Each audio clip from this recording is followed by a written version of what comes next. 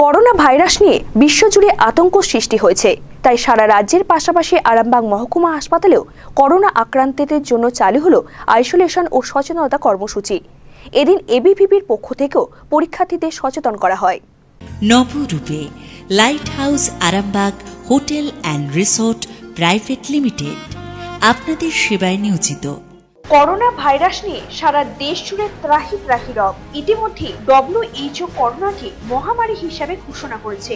এই আতঙ্ক যাতে সাধারণ মানুষকে গ্রাস করতে না পারে, তার জন্য বিশেষ উদ্যোগ নিয়েছে রাজ্য স্বাস্থ্য দপ্তর। স্বাস্থ্য দপ্তরের পক্ষ থেকে একটি হেল্পলাইন নাম্বার চালু করা হয়েছে। রাজ্যের বেশ কয়েকটি হাসপাতালে করোনা আক্রান্তদের চিকিৎসার জন্য আলাদা আইসোলেশন বিভাগ চালু হয়েছে আরামবাগ মহকুমা হাসপাতালেও আলাদা করে আইসোলেশন বিভাগ চালু হয়েছে আর সাধারণ মানুষের মধ্যে আতঙ্ক ঠেকাতে উদ্যোগী হলো আরামবাগ মহকুমা হাসপাতাল। সোমবার দেখা গেল হাসপাতালের বিভিন্ন ওয়ার্ডের সামনে পোস্টারিং করতে। হাসপাতালের দায়িত্বে থাকা নার্স ও কর্মীরা করোনা নিয়ে সচেতনতামূলক পোস্টারিং করছেন। এই পোস্টারে লেখা রয়েছে, করোনা নিয়ে নানা সতর্কতা। অন্যদিকে অখিল ভারতীয় বিদ্যার্থী পরিষদের পক্ষ থেকে উচ্চ মাধ্যমিক পরীক্ষার্থীদের করোনা নিয়ে সতর্ক করা হলো। পাশাপাশি মাস্ক বিতরণ করা হয় বলে জানা গেছে। নিউজ আজ বাংলা, আরামবাগ।